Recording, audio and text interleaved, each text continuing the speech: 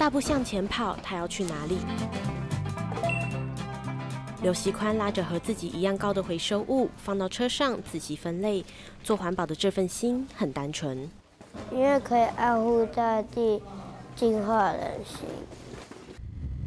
刘习宽除了假日做环保，也会去书轩当小职工。接受人文的熏陶后，他主动和爸爸一起参加浴佛。他虽然个子不高，然后也可能也会被师姑师伯就是遮住，但是看到他跟着我们法亲家人，就是一步一脚印这样一直往前走，那其实就很欢喜这样子，因为就是对的方向这样子。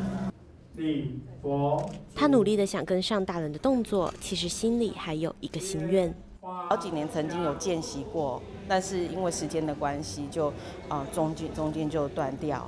后来就是在去年宽宽呃岁末祝福的时候，他在上人面前说：“我的娘要要培，明年要培训，那就是要城镇信使啊。”刘习宽从三岁开始接触此技，在职工身上学习到待人处事的方法，比起同年龄的孩子也更体贴懂事。